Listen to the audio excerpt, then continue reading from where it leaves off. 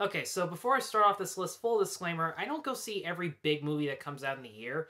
I really only want to see stuff that I think is good and has some potential. And if I make a negative review about it, well, that's just because it disappointed me significantly.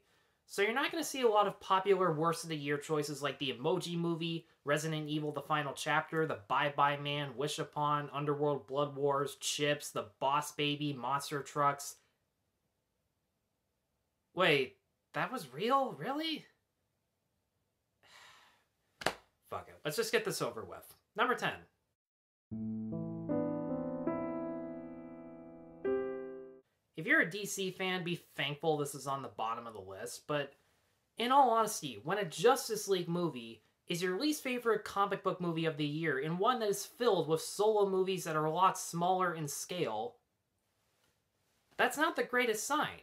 There were good character moments, there were some decent fight scenes, but the story was all over the place. There were too many subplots that either conclude just like that or they don't wrap up at all. Aquaman, once again, barely gets to use his underwater powers. You know, the things that make him awesome, badass, make him stand out from everyone else. And Steppenwolf was just such a boring villain. He actually makes Marvel villains look complex. Really think about that. I'll say this, A Cure for Wellness is a beautiful looking movie. Gore Verbinski is a talented director who doesn't rely on gore and violence to scare people, despite his first name. He actually likes to take his time and build up the suspense in each scene, and he creates a cool gothic atmosphere. The problem is he either takes too much time or not enough. It kind of went back and forth sometimes. The movie is two and a half hours long, and it did not need to be. I appreciate the fact that you're trying to tell the story visually, but in order to do that, some scenes do need to take their time, yes, but that's so other scenes can have a much quicker pacing, and A Cure for Wellness didn't have that. Plus, Dane DeHaan basically mumbled throughout the entire movie. I don't get what people see in him as an actor. He just... It just doesn't seem like he's trying. Matt Damon, Julianne Moore, Oscar Isaac, and George Clooney directing an old Coen Brothers script. Suburbicon should have been good, but it wasn't. And here's why. It had two underdeveloped stories happening at once. And I kind of get why he shoved the subplot about racism in the background of a cliched crime drama, as stupid as that sounds. But the reason I didn't care about that is because I don't know any of the characters who are even involved in the subplot. The only reason you're supposed to feel sorry for this family who is suffering from severe persecution is that they're just black. It doesn't matter what their personalities are like or what their pros and cons are. All you have to do is feel sorry for them just because they're black, and that's all. Black people are interesting, you know? Like, you can try and develop them. I'm just gonna stop talking now.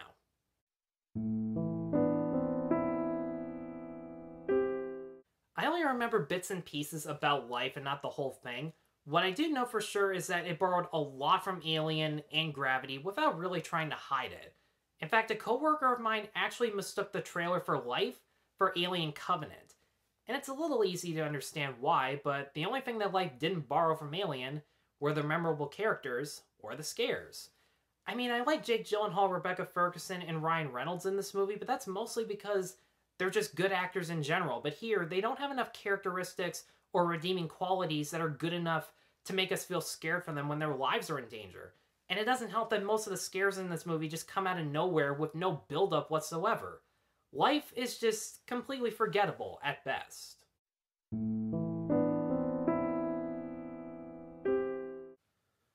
I know this may seem strange ranking Covenant as a worse film than Life, but the reason for that is, even though Michael Fassbender is terrific as always, and Ridley Scott, as usual, is good at directing sci-fi, it pisses me off that because so many people didn't like Prometheus, a movie that took chances, that had a lot of smart things to say about creation and life, and in my opinion stood on its own from the other Alien movies as a spin-off, that Ridley Scott just takes a safer route for this movie by following the formula of every single Alien movie that came before it, and by explaining everything to the audience like they're completely stupid, and yet it still tries to be a Prometheus sequel, and it fails at both. Billy Crudup advances the plot by being the worst space captain ever, making a ton of stupid decisions and putting his entire crew at risk. And even worse, he's making Danny McBride look smart. Hell, James Franco was in the first two minutes of this movie just to die. And I know that he was in that short film, The Last Supper, that is supposed to take place before Covenant, but guess what he does in The Last Supper? He gets sick, then he goes to bed. The fuck do you need James Franco for?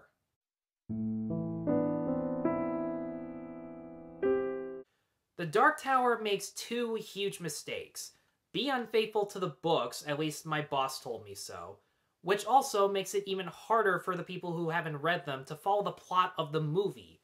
In fact, the test audiences for The Dark Tower even said it was confusing and messy, so the studios spent $6 million on reshoots to give Idris Elba's character a backstory. So that's $6 million spent on rushed, crappy editing, and a ton of exposition on who he is and how this world works.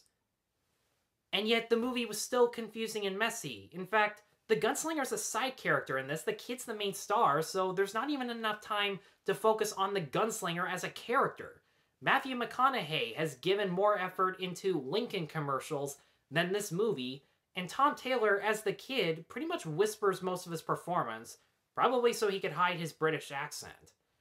I hear that they were going to make a Dark Tower TV show as a sequel to this movie, but Idris Elba and Matthew McConaughey have both done TV shows in the past. Why didn't they just start with a TV show?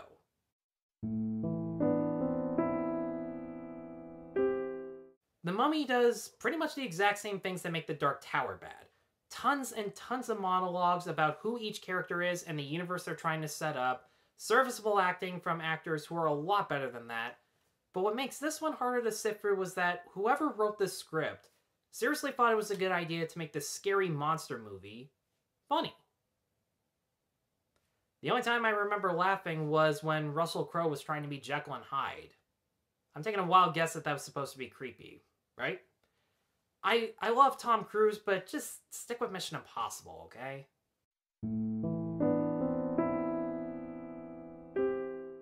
Original Flatliners was cheesy, and it wasn't as smart as it thought it was, but it was still a nice looking, well acted, and kind of creepy movie. The remake would have been a lot better if the studios had just let Niels Oplev make the kind of movie that he wanted to. One that builds up the scares and tension as opposed to just scaring people with loud noises. And maybe include characters that are new and fresh as opposed to ones that are repetitive to anyone who's seen the original movie and just bland and boring to anyone who hasn't. I'm not kidding when I say this. When I was coming up with movies to put on my worst of the year list, I forgot that I had even seen The Circle. I had to go back and watch my old review, one that nobody saw, and frankly they didn't need to, to remind myself why this movie was bad. And then I wish I that I went back to forgetting. Most of the side actors in this movie are trying either too hard to be creepy or just look embarrassed to be there. Emma Watson's character is incredibly naive when it came to why she thought mass surveillance was a good thing, even though there was stuff about it that she wasn't okay with. And the ending, even though it makes it seem like all these big secrets that were just revealed are going to have a huge impact on the world, in the last shot, it turns out they don't. The fuck was the point of that? I'm curious to see what happened in the behind the scenes of this movie, but whatever it was, it just didn't work. Alright, folks. So, the number one worst movie, one that, not gonna lie, I was entirely convinced was gonna be my worst of the year anyways, is. Fucking Sandy Wexler. For the record, Sandler, every time I laughed at one of your jokes, I was faking it. The nicest thing I can say about Sandy Wexler is that it's nowhere near as gross or self serious in its message as The Do Over. However, no other movie this year has pissed me off over how many terrible performances, no matter how many awkward and annoying characters, any cheap or shameless product plugs, or a story that is boring and goes on for fucking ever.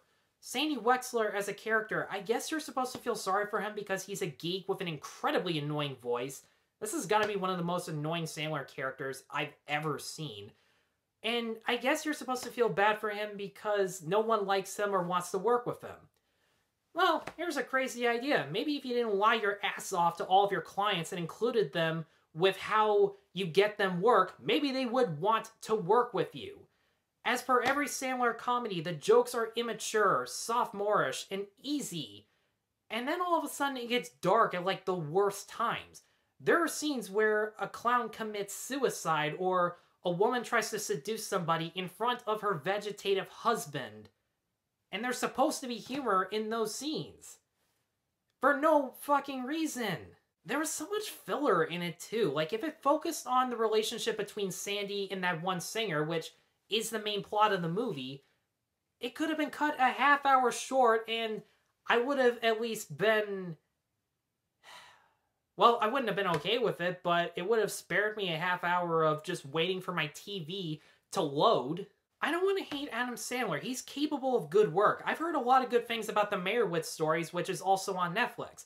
But I haven't watched it because I still haven't been able to get Sandy Wexler out of my fucking head. So can you blame me for not even watching it?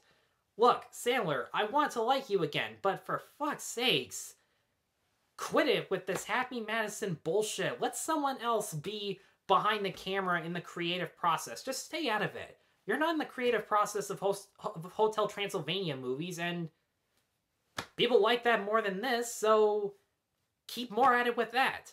By the way, fire that manager of yours that tried to grab Terry Crews's junk. Well, guys, thanks as always for watching all the way through. What are some of the worst movies that you've seen this year? Whatever they are, be sure to let me know in the comments below. And if you'd like to see it, be sure to check out my description for my best of the year list. Be sure to like, subscribe, check out my other reviews at noperfectmovie.com. And once again, thank you all very much for watching. Take care.